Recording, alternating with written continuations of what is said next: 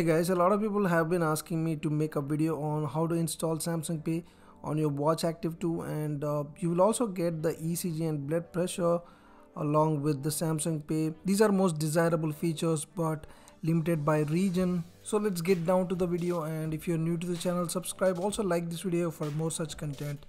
Let's begin. So first up let me make it very clear this is the R820 model and this is an Indian variant running with all the updates installed. This is running on the latest firmware ending with the EUK2 and if you have the R820 model you may give it a try. So anyway let's get down to the process. So the first thing that you need to do is go into the settings and about page. Here you need to click on the software version several times to unlock the developer options.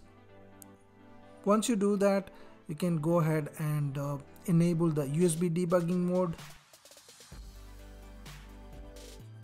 Now you need to put your watch in recovery mode, just hold down both the buttons and once you see this powering off you can leave the back button and now keep holding the power button but you can let go at this point and double press and it will get into the recovery mode. You can use the power button to navigate and navigate to the third option. Now press and hold the power button for making selections and to enter into this wireless download mode and again double press the power button to put the watch in the AP mode.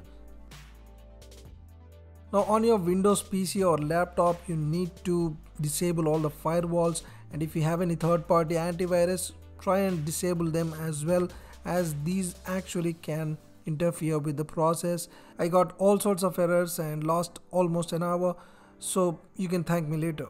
So once you are done with that go to your Wi-Fi options and choose the R820 that is your watch and here as you can see the screen looks something like this. So now open this active 2 folder where you have all the files.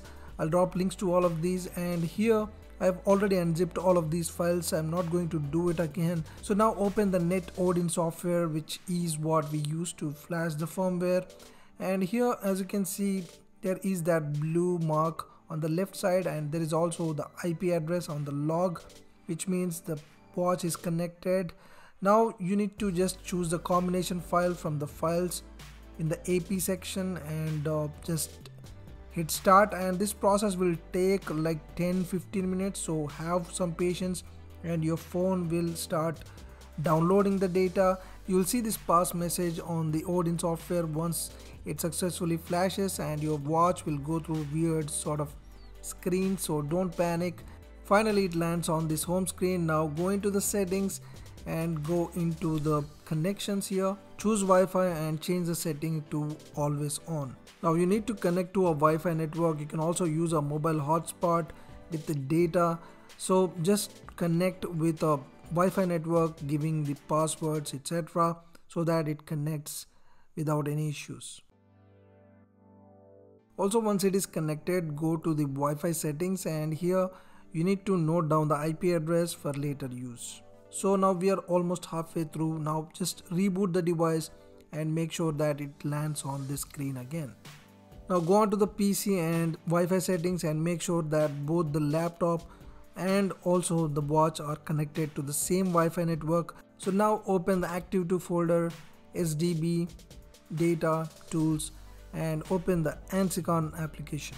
Now you need to enter some commands here. You can copy from the description below the video. So first up type sdb connect and also enter the ip address that we have noted earlier.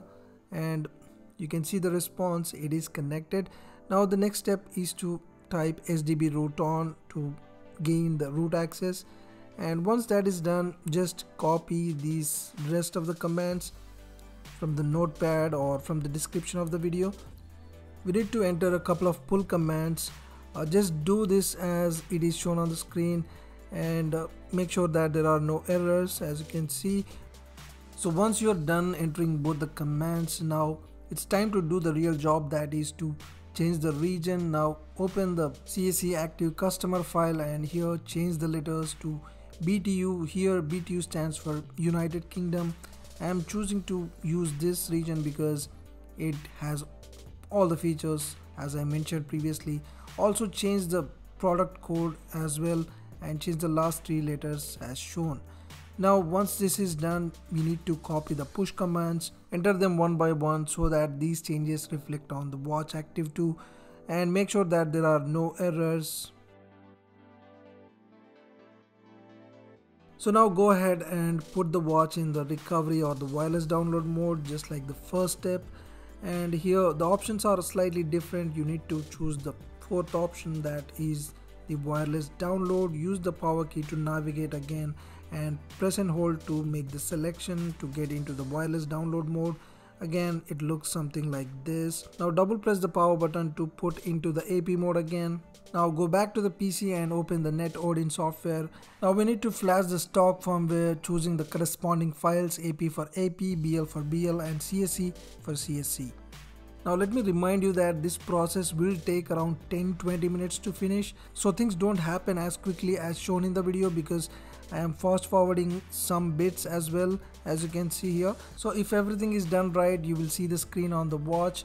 And also once it is done you will see this pass message on the NetOdin and your watch will boot like a newborn baby. So you need to pair and set up the device. And once it is done you can see the software details here. It is running on the pretty old software as you can see. But you will get all the software updates and again it takes at least an hour or a couple of hours to finish all the updates. So after going through all the updates you can see all the software details. Again this is running on the latest firmware as you can see. So to use the Samsung Pay you need to go through another step so when you click on the Samsung Pay by pressing and holding on the back button, it will say that you need to set this up on the phone and here it will take you to a plugin that is Samsung Pay Watch plugin but you cannot install this from the Play Store. So I had to sideload this app from elsewhere but it is totally your choice whether you want to sideload an app or not. So I leave that to you guys so once you install the watch plugin on the phone and you can see here it will prompt you to set up the Samsung Pay on the watch as you can see over here. So let me know if you want me to make another video on how to set up Samsung Pay and how to use it in real world and how it works and stuff. Definitely comment down below. Also give this video a like. That's been it guys. Thanks for watching. I'll see you soon